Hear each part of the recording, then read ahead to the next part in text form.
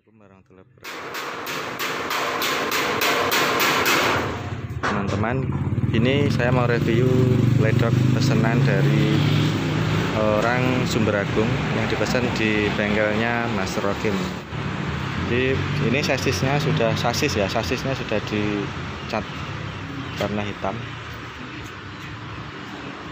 Tapi untuk transmisi belum. Ban sudah lengkap